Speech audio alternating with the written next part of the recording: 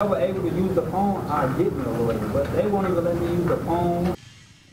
We are getting our first look at Herbert Lee after the police-involved shooting last weekend at the Dirt Bowl in Shawnee Park. Lee was in a wheelchair as he appeared before a judge in court this morning. Thanks so much for joining us here at noon. I'm Brooke Hash.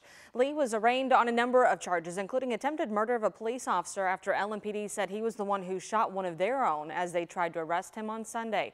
Now, some of the other charges include wanton endangerment, receiving stolen property, and criminal, uh, being a criminal in possession of a handgun. Those specific charges are not necessarily connected to the incident at Shawnee Park. Lee, who spent the last few days in the hospital with injuries from that shooting, stood up from his wheelchair and demanded the judge pay attention to his wounds and understand that he is not getting medical attention. Kenny, I got open let's just work on the They not even paperwork. come to check my wounds or nothing. Like I got, I'm open all over. They don't even come to change bandages or nothing. I got hurt two something yesterday. They didn't. I will talk with you that. about that after we get through the paperwork.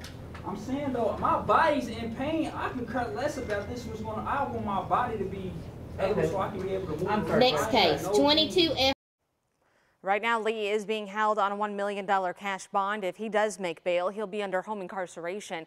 He has pleaded not guilty in those cases and is expected to be back in court on July 25th.